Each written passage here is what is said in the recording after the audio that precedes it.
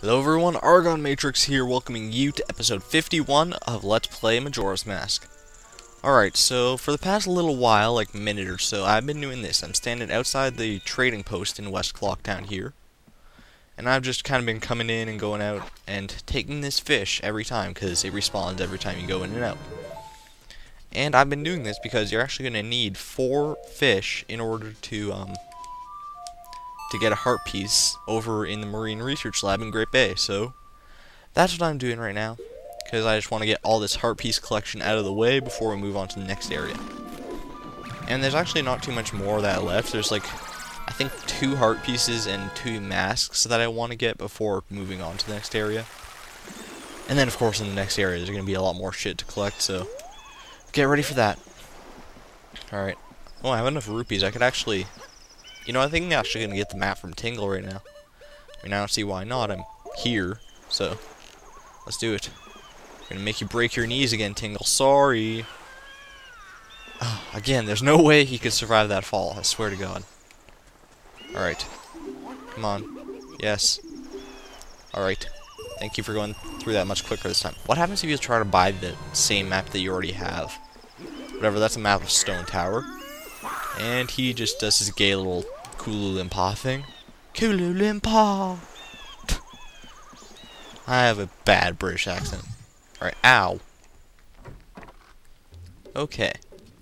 Uh, why can't we just, like, take the Zora babies that were in here at one time and just, like, feed them to this guy over here? Because that's really all we're doing.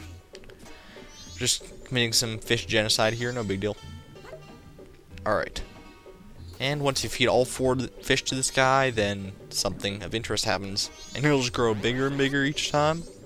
So I'll just repeat this three more times, and then we'll see how that goes. Alright, and this sh should be the final time that I have to do that. And he'll grow really massive, and then... Wait, what? Huh? That's not supposed to happen. It's supposed to just take four. Oh, I know. Fuck. One of the other one ate one of the fish. That's probably what happened.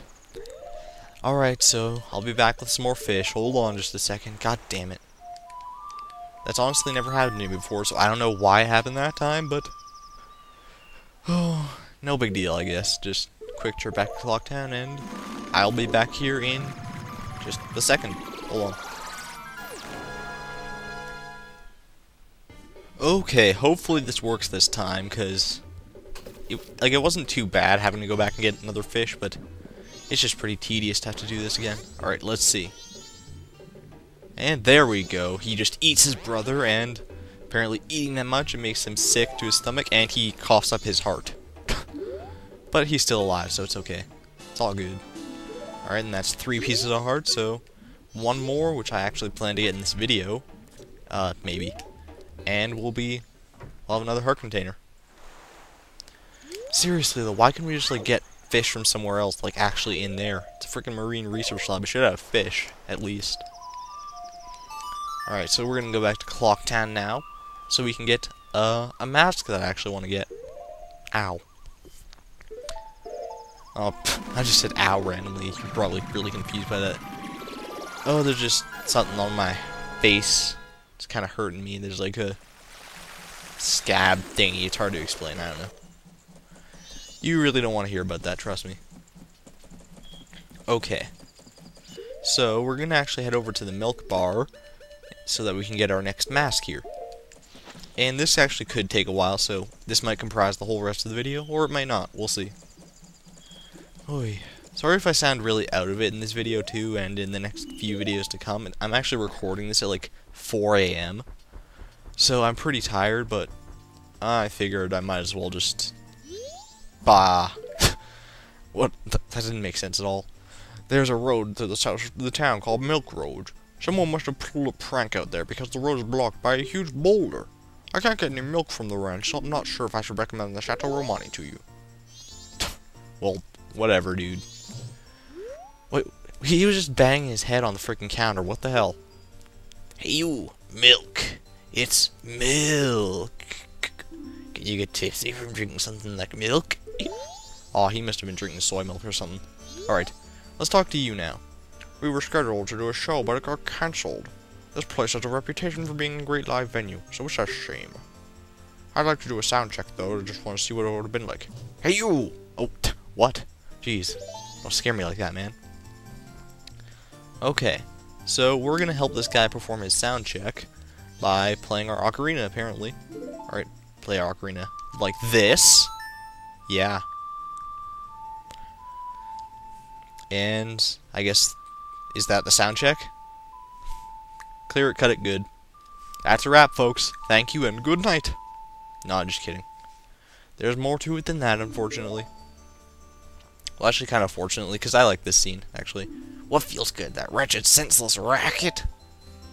Yeah, he's drunk, don't mind him. Drunk on milk. I had these three fish, I'm not going to be able to do anything with them. Oh well. Alright, uh, no, I want this one first. Because we're going to go in, in a sequential order here. Not going to screw with that. Alright, and now we're going to play our Deku pipes for him to continue with the soundtrack, I guess, because, well, I don't think there's a pipe member in the Indigo-Go's, but I guess this is cool, whatever. Hmm. But I actually rather like this sequence of events, like putting these instruments together to make, to do the sound check. I don't know why I like it, I just do. Probably because I'm just fond of instrumentals and stuff. And it's actually kind of cool and clever to be able to combine all the instruments at that like that at the same time. It's one of the more interesting aspects of the game, and I like it. I mean, not that this game has a lot of boring aspects to it. Pretty much like everything in it. Except the freaking Great Bay Temple. God, if I never have to do that again, it'll be too soon. Okay. In the rear left spotlight. There we go. And play your drums like this.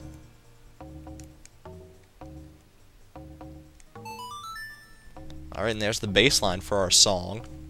Lovely, lovely song.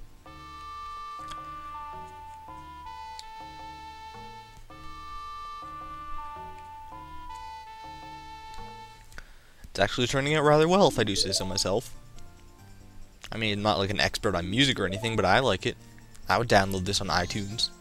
Well, probably not, actually. Ugh. I would download it to like give it to like a girl for Valentine's Day present. It's like, yeah, I had to come up with something in the last minute, so here's some shitty song from iTunes. Happy Valentine's Day. No, I wouldn't do that. I'm not that shallow. Alright, here we go. I would actually write a song myself. Oh, I played it wrong. That was stupid. That's what you get when you pl play this game, like, late at night. Well, early in the morning, I guess.